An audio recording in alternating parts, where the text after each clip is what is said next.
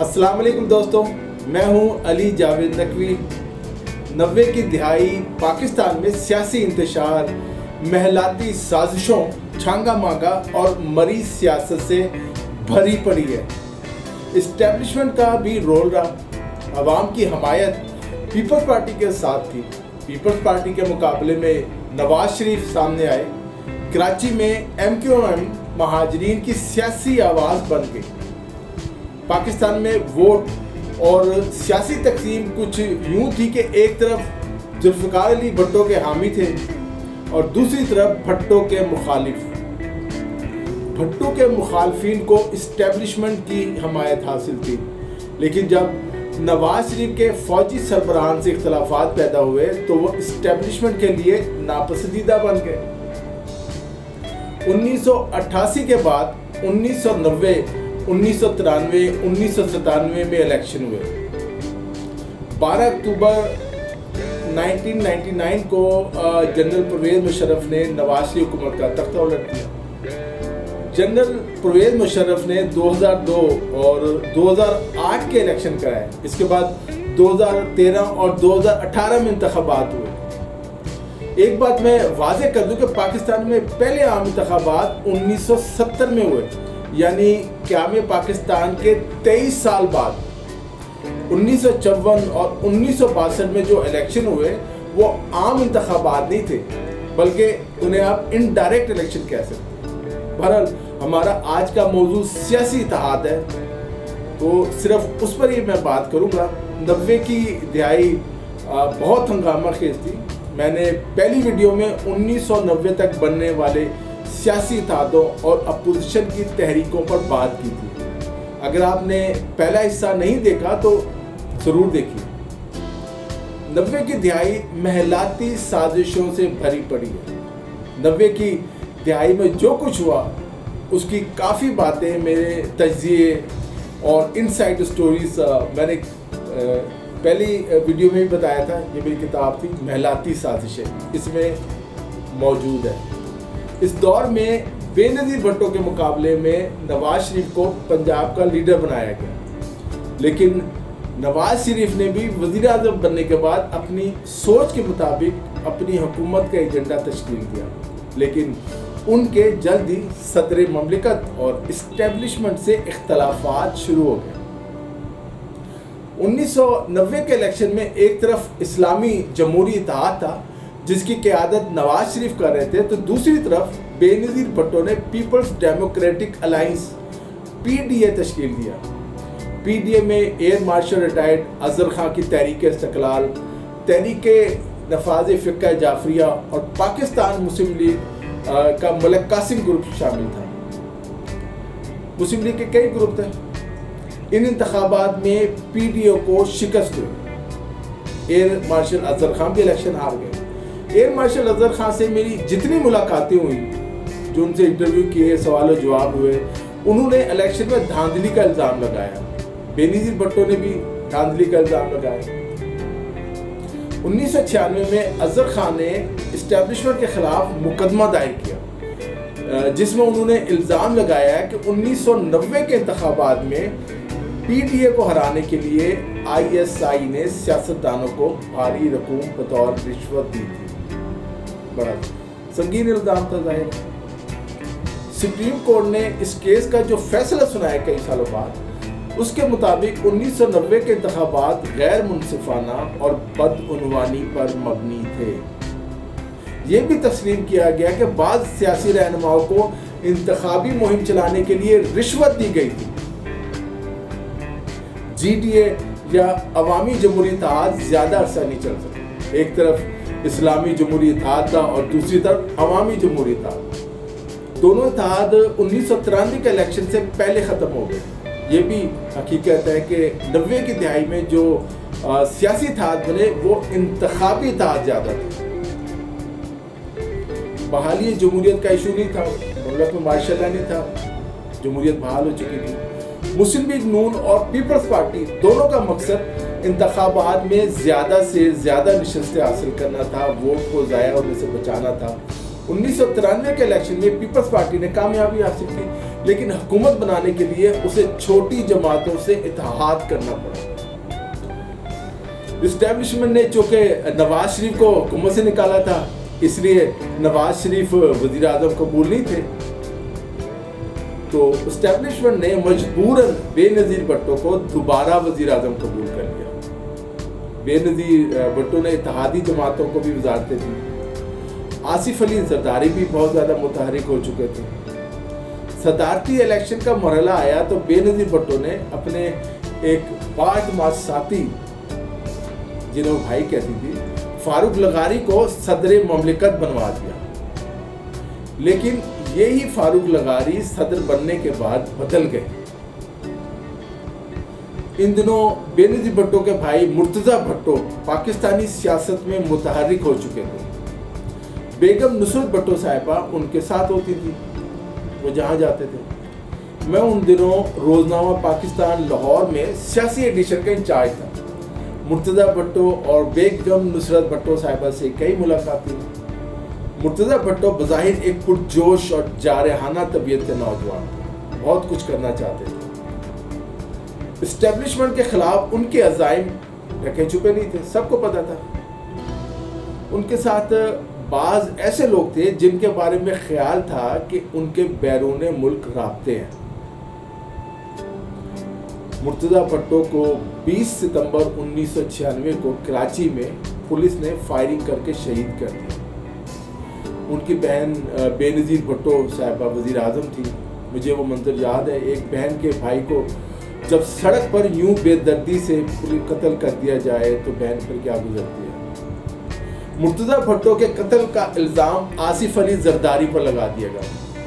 उस पर मैं एक अलहदा वीडियो बनाऊँगा। मेरी किताब है मुर्तज़ा भट्टो के कत्ल पर, उन्हें कैसे कत्ल किया गया। कभी टाइम मिला तो इस पर भी ज़रूर मैं वीडियो बनाऊँगा। ऐवान सदर जो था, साजिशों का गढ़ बन गया था। फारूक लगारी जो कभी बेनज़ीर भट्टो के भाई और पार्टी के वफादार लीडर समझे जाते थे, सबसे बड़े साजिशी बन सदर फारूक लगारी ने वज़ीर आज़म बेनज़ीर भट्टो की हुकूमत बरतरफ कर दी। बेनज़ीर भट्टो को तीन दुख मिले। एक, भाई मुर्तज़ा भट्टो मारे गए। दूसरे, उसका इल्ज़ाम उनके शौहर आसिफ अली जरदारी पर लगा दिया। और तीसरे उनकी मुंतखब हुकूमत उन्हीं के बनाए हुए सदर फारूक लगारी ने बरतरफ कर दी। लेकिन बेनजीर भट्टो ने यह सब कुछ बर्दाश्त किया और मुर्तज़ा भट्टो का जारहाना रास्ता अख्तियार न किया। वो एक अजीम लीडर थे। बेनजीर भट्टो ने फारूक लगारी को इन तमाम इकदाम के बदले में सियासी यतीम करार दिया और ये टैग फारूक लगारी के सारी बाकी सारी ज़िंदगी लगा उन्नीस सौ सतानवे के इंतबात में पीपल्स पार्टी ने कौमी असम्बली की सिर्फ़ 18 सीटें जीती थी, जबकि नवाज़ शरीफ ने 135 सीटें हासिल की थी। बहुत ज़्यादा फ़र्क था नवाज़ शरीफ एक बार फिर वज़ीर आज़म बन गए, जो कि इस्टेब्लिशमेंट ने बेनज़ीर भट्टो को निकाला था। बेनज़ीर भट्टो साहबा कुछ अरसे के लिए पाकिस्तान से बाहर चली गई। मुझे याद है, बेनज़ीर भट्टो अक्सर कहा करती थी कि ये मज़बूत हुकूमत खुद ही अपने बोझ से गिर जाएगी। नवाज़ शरीफ वज़ीर अजम बने तो उन्होंने इस्टेब्लिशमेंट से एक बार फिर सिंह फंसा ली नवाज़ शरीफ के खिलाफ नवाबजादा नसरुल्ला खान ने मुतरिक उन्होंने एक बार फिर जो है उन्नीस सौ अठानवे में उन्हीं की कोशिशों से एक ग्रैंड डेमोक्रेटिक अलायंस जीडीए कायम हुआ। जीडीए में पीपल्स पार्टी के अलावा अलामा डॉक्टर ताहिरुल कादरी की पाकिस्तान अवामी तहरीक भी शामिल थी। लेकिन इस इतिहाद में सबसे बड़ा मसला ये था कि डॉक्टर ताहिरुल कादरी खुद को वज़ीर आज़म के तौर पर पेश कर रहे थे। और उनका ख्याल था कि उनकी जमात मुल्क की सबसे बड़ी जमात है। उनका रवैया भी बेनज़ीर भट्टो के साथ दुरुस्त नहीं था। बड़ा जारहाना था। मैं एक वाक़ सुनाता हूँ मैं तो मामूली सा मिनहाजुल करान मॉडल टाउन लाहौर में जी डी ए का इजलास हो रहा था, हम लोग भी वहाँ रिपोर्टिंग के लिए मौजूद थे। अलामा ताहिर कादली के गार्ड्स और अमले ने बेनीजी भट्टो को मजबूर किया कि वो इजलास में, यानी कमरे में जाने से पहले जहाँ इजलास हुआ था, अपनी सैंडल उतारें। बाकी रहनुमाओं ने भी अपने जूते उतारे। जबकि अलामत ताहिरुल कादरी खुद जूतों समेत बराजमान थे। जलसों और जुलूसों में अलामा ताहिरुल कादरी के कारकुन ट्रक या स्टेज के करीब जमा हो जाते थे। और वज़ीर आज़म कादरी के नारे लगाते थे। पीपल्स पार्टी के जालों को स्टेज के करीब ही नहीं आने देते थे। जलसों में अवामी तहरीक के ज़्यादा झंडे होते थे, जो कि ज़ाहिर मुनज़म थे। जियालों के खिलाफ अलामा ताहिरुल कादरी के गार्ड इलेक्ट्रिक रॉड इस्तेमाल करते थे। इसी तरह ताहिरुल कादरी ने ए आर टी को हाईजैक करने की कोशिश की। खुद ही इसके सदर भी बन गए। पहली दफ़ा नवाबजादा नुसला खान भी अलामत ताहिरुल कादरी की ताकत के आगे बेबस नज़र आए और उन्होंने इसका कई दफ़ा ज़िक्र किया। उन दिनों सबक army chief general Mirza Aslam Beg भी कौमी सियासी में मुतारिक थे। उन्होंने अवामी क्यादत पार्टी के नाम से अपनी सियासी जमात बनाई हुई थी। मैंने उन्हें कहा जब भी उनसे बात हुई कि वो क्यों जी डी में शामिल नहीं हो रहे? उनकी अक्सर मुलाकात होती थी। वो ये कहते थे कि जी टी ए गड्ढा अलायंस है। गड्ढा अलायंस ये अलायंस कौम को गड्ढे में गिरा देगा। मैं इसमें क्यों शामिल बारह अक्टूबर उन्नीस सौ निन्यानवे को नवाज़ शरीफ के बनाए हुए army chief general Pervez Musharraf ने उनकी हुकूमत का तख्ता उलट दिया। नवाज़ शरीफ जब वज़ीर आज़म थे, मैं रिपोर्टिंग करता था, एक अखबार में चीफ रिपोर्टर था। नवाज़ शरीफ से हर हफ़्ते बाकायदा मुलाकात होती थी गुफ्तु होती थी। नवाज़ शरीफ के फौज से इख्तलाफात कैसे पैदा हुआ और इन दोनों क्या हुआ? उस पर आ, आ, मेरी किताब है और फौज आ मैं मैं किताबों के बारे में भी आपको बताता हूँ। ये और फौज आ मैंने रिपोर्टिंग के दौरान जो कुछ देखा जो मेरा तजिया था ये किताब उस पर मुश्तमिल है। एक माह में इस किताब के कई एडिशन शाये हुए अपने दौर की हॉट के किताब थी। नवाज़ शरीफ हुकूमत ख़त्म हुई खलसूम नवाज़ साहबा सियासत में मुतहरिक हो गए। एक दफ़ा मैं अपनी लेडी रिपोर्टर आलिया इमरान के साथ उनके इंटरव्यू के लिए उनके घर जाती उमरा गया। नवाज़ शरीफ शहबाज शरीफ, मियाँ शरीफ, ये सब जेल में थे। वहाँ उनके साथ तफसीली इंटरव्यू किया। ऑफ़ द रिकॉर्ड गुफ्तु और काफ़ी बातें हुई। मेरे जहन में पता नहीं क्या आया। मैंने बेगम कुलसूम नवाज़ साहिबा से कहा कि मैं आपके लिए क्या कर सकता हूँ? वो बहुत हैरान हुई, कहने लगी नकवी साहब, बहुत शुक्रिया, कोई मदद नहीं चाहिए। मैंने फिर असरार किया कि मैं कुछ करना चाहता हूँ। बताइए। मेरे इसरार पर बेगम कुलसूम नवाज़ साहबा ने कुछ देर सोचा और फिर बोली, आप हम, फिर हमारा एक पैगाम पहुँचा दें। मैंने कहा, जी, हुक्म करें, क्या पैगाम है? उन्होंने कहा कि आप मजीद निज़ामी मजीद निज़ामी साहब नवाबत के चीफ एडिटर काजी हुसैन अहमद, जमात इस्लामी के अमीर, और राजा जफरुल्ला मुस्लिम लीग नून के रहनमा थे। इन तीनों को पैगाम पहुँचाएँ कि वो जनरल परवेज़ मुशरफ से रबता करें। मुझे ज़्यादा उस वक्त नहीं अंदाज़ा हुआ इस बात की गहराई का। मैंने कहा, मैं आपका पैगाम पहुँचा दूँगा। ऑफ़िस आकर मैं काजी हुसैन अहमद साहब को फ़ोन किया और उन्हें और उन्हें बेगम कलसूम नवाज़ साहिबा के पैगाम के बारे में बताया। इसी तरह मजीद नजामी साहब को फ़ोन किया। बरल मैं मौजू की तरफ़ वापस आता हूँ। वो एक अलहदा कहानी है। जनरल मुशरफ की हुकूमत को कई साल साल तकरीबन गुजरा होगा। जब अपोजिशन जमातों ने महसूस किया कि जनरल परवेज मुशर्रफ लंबे अरसे के लिए आ गए और इनके जाने का इरादा नहीं है।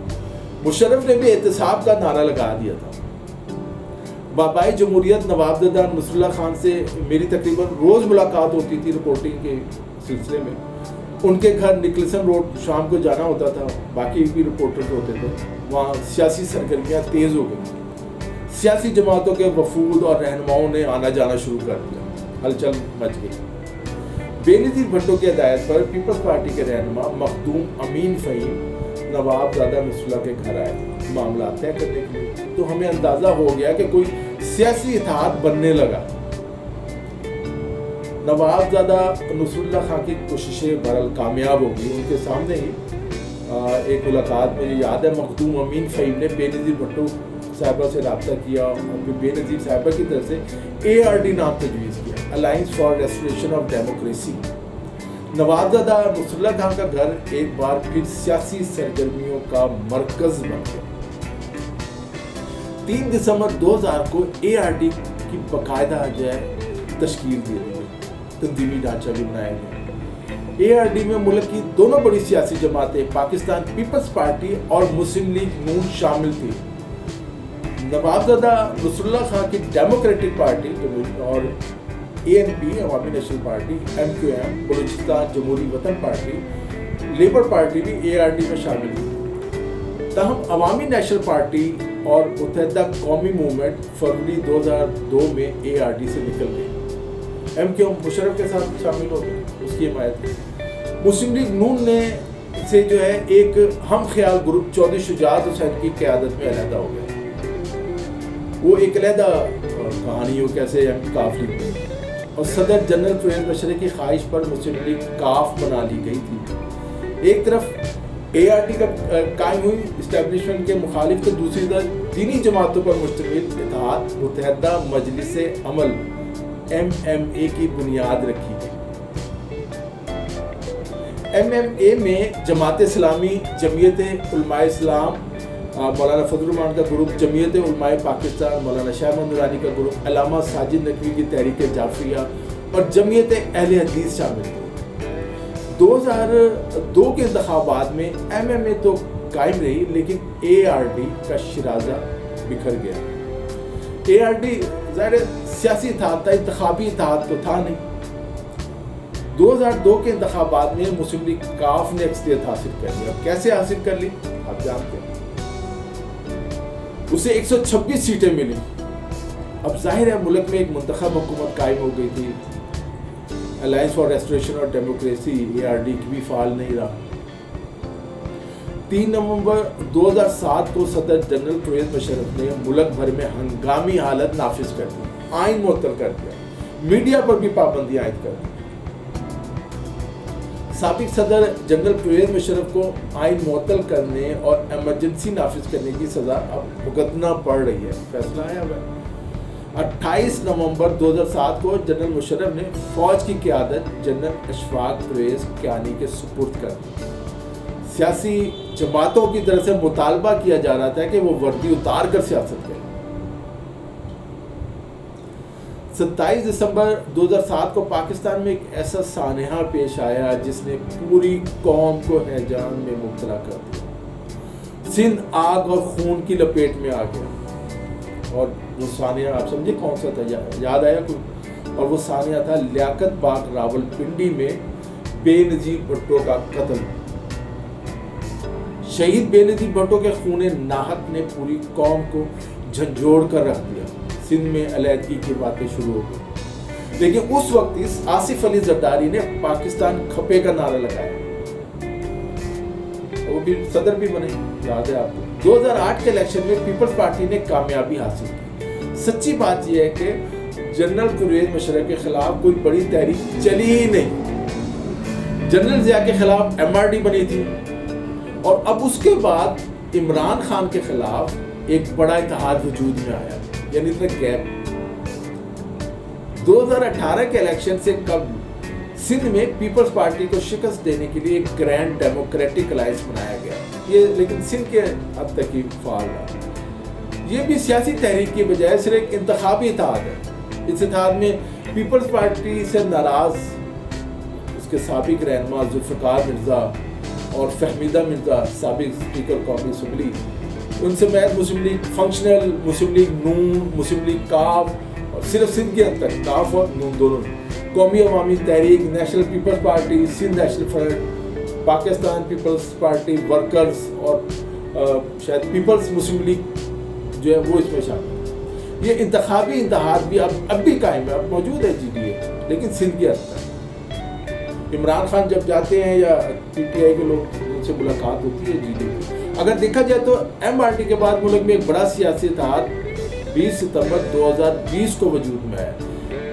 ये आल पार्टीज़ कॉन्फ्रेंस जारी थी, जिसमें सबक वजी अजम नवाज़ शरीफ ने वीडियो लिंक के ज़रिए खिताब भी किया। इस इतिहाद को पाकिस्तान डेमोक्रेटिक मूवमेंट का नाम दिया गया है।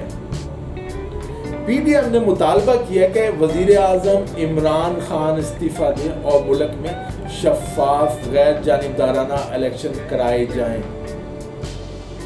ऑल पार्टीज़ कॉन्फ्रेंस की मेजबान पीपल्स पार्टी थी। इसमें जमात इस्लामी के सिवा तमाम अपोजिशन जमातों ने शिरकत की। एपीसी के बाद हुकूमत, वज़ीर अजम इमरान खान, परेशान नज़र आ रहे फिर ये खबर भी लीक हो गई कि army chief general Qamar Javed Bajwa और ISI chief general lieutenant general Faiz Hameed ने कॉन्फ्रेंस से कल अपोजिशन रहनुमाओं से मुलाकात की है।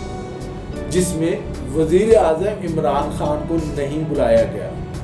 शेख रशीद को तो बुलाया गया। एपीसी में नवाज़ शरीफ का खिताब सबसे अहम था। नवाज़ शरीफ अब एक एंटी इस्टेब्लिशमेंट सियासतदान बन चुके हैं। लेकिन दूसरी तरफ़ रबतों की खबरें भी आ रही हैं। शहबाज शरीफ का मुफामत का बयानिया नवाज़ शरीफ ने मुस्तरद कर दिया। इस कॉन्फ्रेंस में मौलाना फजलरहमान भी मौजूद थे। मौलाना फजलरहमान का मौका भी बहुत सख्त है।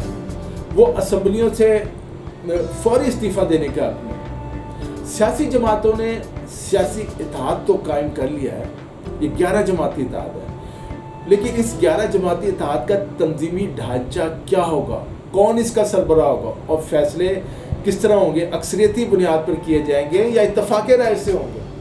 अभी कुछ वाजे नहीं। पीपल्स पार्टी और मुस्लिम लीग नून इस इतिहाद की दो बड़ी सियासी जमातें हैं। और वो कभी नहीं चाहेंगी कि ये सियासी इतिहाद उस रास्ते पर चले या ऐसे फैसले करे जिससे उन्हें सियासी नुकसान पहुँचने का खदशा हो।